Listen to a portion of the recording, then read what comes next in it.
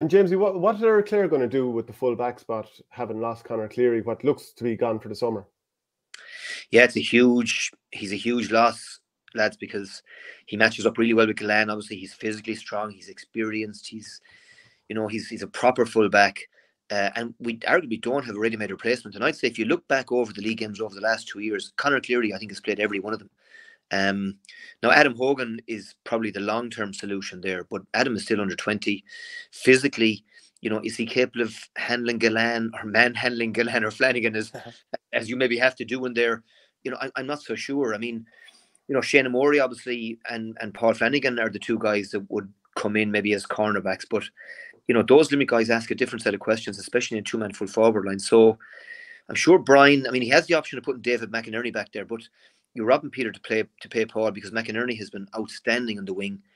You know, brilliant going forward. Um, and he matches up really well with Hegarty um, outside. So, yeah, I mean, look at at least they've had time to to kind of, I suppose, weigh it up and, and look at a few things in, in, in training. I, I I'm not sure exactly what the position on Conor is. I mean, Cleary's as tough as they come, and maybe he's harbouring hopes that he might play some part. I, I I don't know, and I haven't been talking to anybody close to the setup.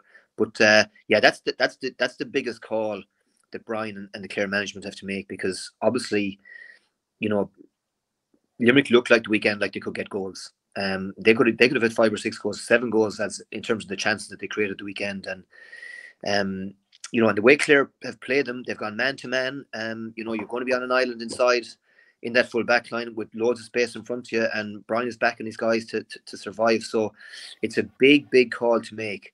I think Rory Hayes didn't play well at all last year in the Munster final, and I think you know Rory will be particularly disappointed. I think at, at the way that went, and looking maybe to to atone for that. Um, so he'd be one of the two in there, I'd imagine. But who the second guy is going to be, Adam Hogan maybe, but David McInerney is probably a, a, a live option as well. Limerick are going to go after the full back line as well. Even looking at the game the last day, they fed the full forward line probably more than they had at any stage yet this season. It was a lot more, I'd say, a lot more direct, maybe a lot less triangle passing out around the middle. They were trying to get that direct ball in. Whoever is in there, I'd say they're they're going to tr- they're going to try and hammer them from the start.